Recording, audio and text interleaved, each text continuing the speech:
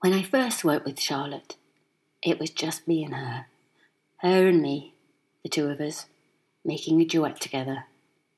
There she was, with a broken wine bottle, a bunch of wilting gladioli, and a collection of support bandages.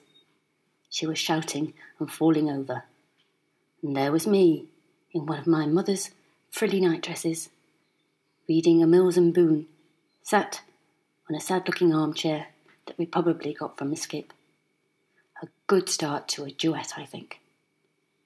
There was a mattress too, stained of course and smelly, on which we grappled, rolled, threw, strangled, and gripped one another till it hurt. I learnt quite a lot about Charlotte over the course of making that duet. She brought in some whale music, something she never did again. We ate a fair few ginger nuts, and I soon realised it wasn't wise to enter into any kind of discussion about choreography whilst grappling with her on a mattress. I ended up in my knickers, having discarded my mum's frilly nightdress.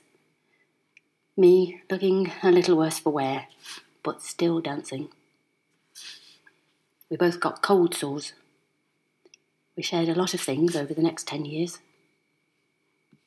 There were bust ups, break ups, break ins, love ins, love hates, some blind dates, some kind deeds, a slap in the face, some lonely nights, cold floors, car fumes, box rooms, bumpy rides, tears and tantrums, quick changes, transformations, divorces, divine interventions, near death experiences, dirty underwear and the washing of, underhand, overwhelmed, mismatched, misshapen, perfectly formed, crumpled, cracked, and melted down, broken showers, broken cords, patched up for now, making amends, making friends, holding hands and letting go.